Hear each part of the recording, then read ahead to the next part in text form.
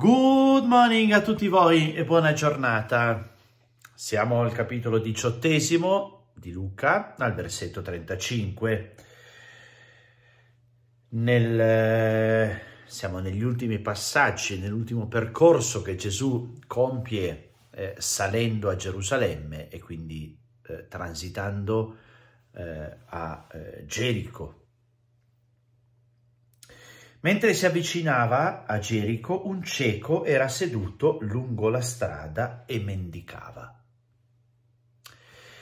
Questo primo versetto di questo episodio a me piace sempre tanto. Ecco, piace sempre tanto perché in realtà descrive un po' l'umanità, descrive un po' ognuno di noi, che siamo ciechi sulla strada e mendicanti.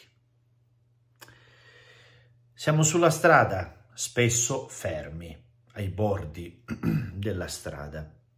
Nella nostra vita spirituale, ma anche nella nostra vita in genere, possiamo sempre rischiare di stare seduti ai bordi, ciechi, incapaci di vedere, incapaci di vedere la vita, le bellezze della vita, incapaci di vedere eh, il volto di Dio, misericordioso, Padre, il volto del Dio di Gesù, ciechi, ciechi, anche se abbiamo ascoltato migliaia e migliaia di volte le parole del Vangelo, ciechi, e così ci scusiamo di non poter vedere il reale. mendicanti, perché siamo tutti mendicanti di che? Beh, mendicanti di luce, mendicanti d'amore, mendicanti di vita. Ecco, sentendo passare la gente, domandò che cosa accadesse e gli annunciarono passa Gesù, il Nazareno. Allora gridò dicendo Gesù, figlio di Davide, abbi pietà di noi. No, scusate, abbi pietà di me. Quelli che camminavano avanti lo rimproveravano perché tacesse, ma egli gridava ancora più forte, figlio di Davide, abbi pietà di me. C'è sempre qualcuno che ci mette il bastone tra le ruote, appunto ne, tra i suoi, ecco, nella chiesa c'è sempre qualcuno che mette i bastoni tra le ruote e dice non disturbare, dai, continuano le tue pratiche religiose, no? Non venirci a scocciare ma Gesù si ferma. Ordina che lo conducano da lui. Quando fu vicino gli domandò che cosa vuoi che io faccia per te? Egli rispose, Signore, che io veda di nuovo. Ah, questa espressione qui mi, mi piace anche questa, sono ripetitivo, che io veda di nuovo.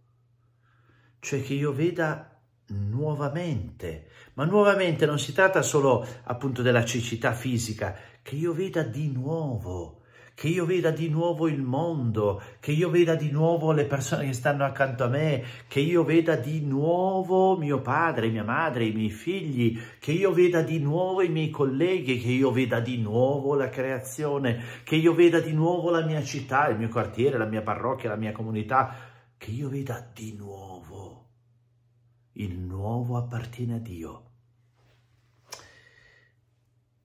E abbi, infatti dice Gesù, di nuovo la vista. La tua fede ti ha salvato. Subito ci vide di nuovo, ancora, e eh, cominciò a seguirlo glorificando Dio e tutto il popolo, vedendo, diede lode a Dio. Che bello. Oggi è un giorno in cui chiedere di vedere di nuovo questa giornata, queste 24 ore che abbiamo davanti a noi. Le cose belle della giornata di ieri, beh, nel weekend abbiamo avuto l'evento dell'oratorio, quindi è sempre bello stare con i bambini e condividere anche con le famiglie, con le persone che si mettono a disposizione del preparare cena e poi stanno lì, insomma, eh, non siamo in tanti magari a questi eventi, ma è bello mm, stare insieme, stare insieme. E questo è un, è un valore molto positivo. Ieri sera l'incontro con i eh, giovanissimi che, eh, che, hanno vissuto un bel incontro, mi sembra, a partire dal Samaritano. La nostra partita velota serale, ecco, eh, che è stata, che è sempre un buon momento di così, di, di, di, svago, ecco, no? E niente, queste cose sono le cose belle del, del mio weekend eh, ce n'era un'altra ma adesso me la sono scordata. Bene, che oggi impariamo a vedere di nuovo quello che ci accade come eh, se fosse la cosa più bella al mondo, ma lo è. Ale, buona giornata a tutti voi.